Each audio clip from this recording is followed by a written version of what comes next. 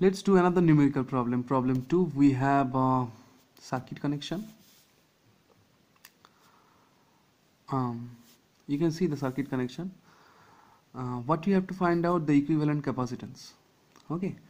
So we have five capacitors 12 microfarad 10 microfarad 5 microfarad 9 microfarad 8 microfarad.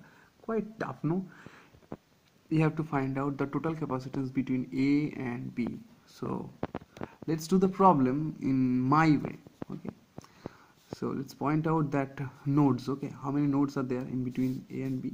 One two three four. So let's point out these nodes like um, we have D E F G.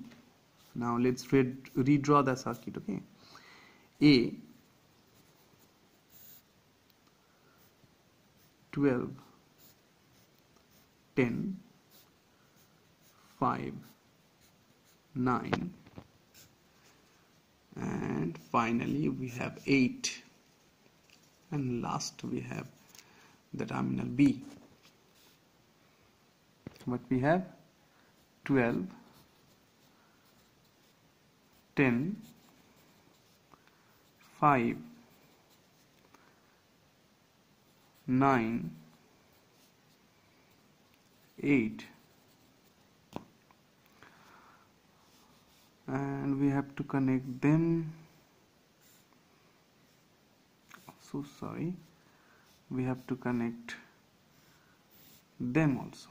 Yeah. this line does not exist now you can see D and F are connected by simple wire.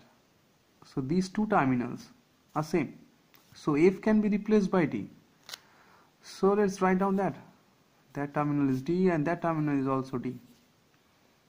Is that okay? Now this terminal I mean this node is E and this node is G. And this node these two nodes are just same because these two nodes are connected by a simple wire. So E and let's just replace D by I'm sorry G by E. So E. So let's redraw the circuit again.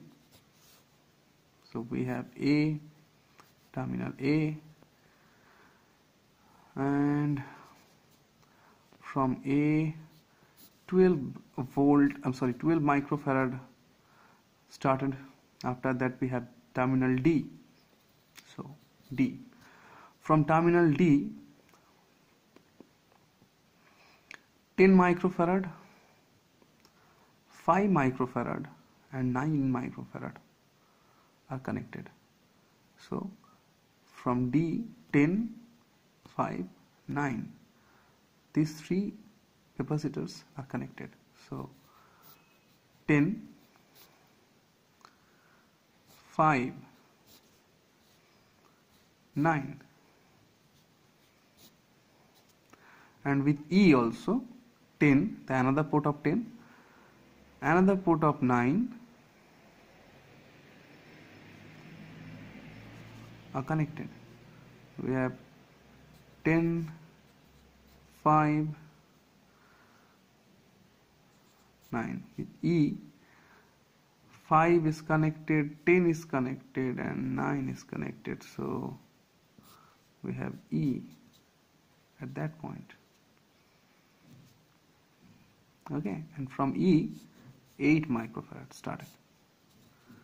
And finally we have B. Now is that so easy? I mean is that so tough or so easy